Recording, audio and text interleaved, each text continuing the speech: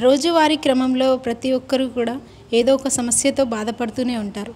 అందులో మొదటగా జీర్ణక్రియ సమస్యలు గర్భాశయ సమస్యలు గుండె నొప్పులు తగినవి. వీటి కోసం మనం ఇలాంటి చిట్కాలు పాటిస్తే హెల్తీగా ఉంటాం అనేది తెలుసుకుందాం. ముందుగా జీలకర్ర. ఇది ప్రతి ఒక్కరి ఇంట్లో ఉంటుంది. ప్రతిరోజు వంటల్లో మనం దీన్ని వాడుతూనే ఉంటాం. దీనివల్ల వంటలకు చక్కని రుచి వాసన వస్తాయి. దీనిలో రెండు రకాలు ఉంటాయి.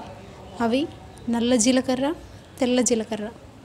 రెండింటిలోనూ ఔషధ గుణాలు ఉన్నాయి అంటున్నారు నిపుణులు. దీనిలో ఆరోగ్య ప్రయోజనాలు ఎన్నెన్నో ఉన్నాయి. వాటిలో కొన్నింటిని ఇప్పుడు మనం తెలుసుకుందాం. తాలింపులో జీలకర్ర పడగానే మంచి సువాసన వస్తూ ఉంటుంది. అటువంటి జీలకర్ర వంటల్లోనే కాకుండా పలు విధ- రకాలుగా కూడా వాడుకోవచ్చు. జీలకర్ర రసంతో తామర తెల్ల మచ్చలు తగ్గుతాయి.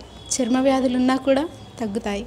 అయితే ఇందులో జీలకర్రకి కొంచెం ఇంగువని సేంద్రియ లవణాన్ని మజ్జిగలో కలిపి సమపాలల్లో గనక తీసుకున్నట్లయితే పొట్ట ఉబ్బరం తగ్గుతుంది. జీలకర్ర కషాయం రోజు త్రాగుతూ ఉంటే గుండె నొప్పి రాదంటున్నారు నిపుణులు. అలాగే అధిక రక్తపోటు మధుమేహం అదుపులో ఉంటాయట.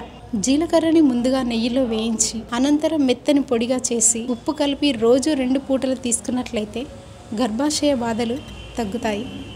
ఈ పొడిని అన్నంలో మజ్జిగలో కూడా కలిపి తీసుకోవచ్చు. జీలకర్రని నిమ్మరసంలో కలిపి రెండు పూటలా కనుక తీసుకున్నట్లయితే తల తిప్పడం వేడి తదితర అనారోగ్యం సమస్యల నుంచి ఉపశమనం లభిస్తుంది. జీలకర్రలో ఉండే చిమినాలిటీ హైట్ అనే రసాయనమే దీనికి కారణం. ఇది మన లాలాజల గ్రంథులని ఉత్తేజపరిచి ఆకలిని పెంచుతుంది. జీర్ణక్రియ బాగా జరిగేలా చేస్తుంది. ఆకలి లేని వారు కనుక దీన్ని తీసుకున్నట్లయితే ఫలితం ఉంటుంది.